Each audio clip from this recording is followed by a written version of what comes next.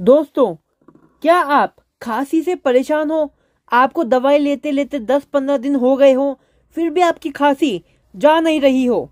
तो आज हम बात करेंगे आयुर्वेदिक कफ सिरप, कुका के बारे में, जिसके कोई भी साइड इफ़ेक्ट देखे नहीं जाते हैं और बहुत ही बेहतरीन रिज़ल्ट देखने को मिलते हैं।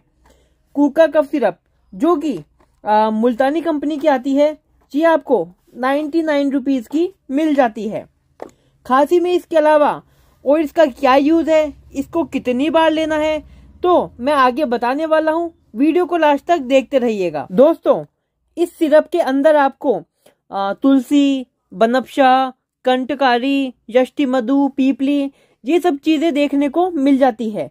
तुलसी को आप सब जानते हो। दोस्तों, यह जो तुलसी है, वो आपको, आपकी जो रोग प्रतिरोधक क्षमता है, उसको बढ़ाती है। और जो बनपशा है, जिसे हम स्वीट वोलेट के नाम से भी जानते हैं।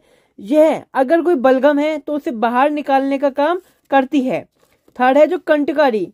यह आपको अस्थमा से रिलीफ दिलाती है, जुकाम और खांसी से आराम दिलाती है।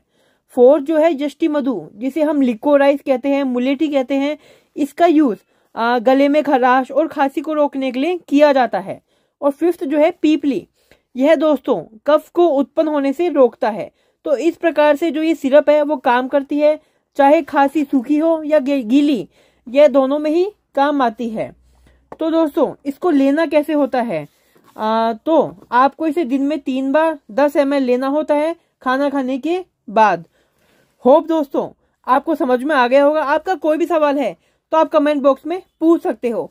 और अगर आपने अभी तक चैनल को सब्सक्राइब नहीं किया है तो जल्दी से चैनल को सब्सक्राइब कर दीजिए।